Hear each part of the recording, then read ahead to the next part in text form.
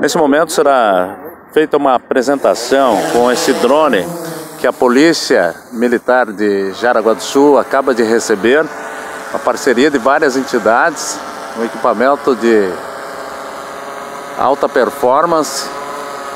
Esse é o primeiro voo de demonstração para a captação de imagens desse equipamento, que está sendo feito aqui no pátio da, do Centro Empresarial de Jaraguá do Sul.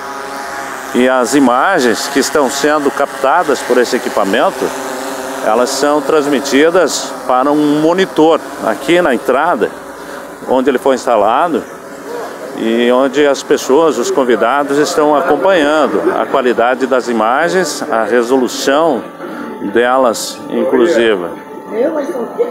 E a Rádio Araguá presente também nessa oportunidade, nesse momento, em que esse equipamento é entregue para a Polícia Militar de Jaraguá do Sul.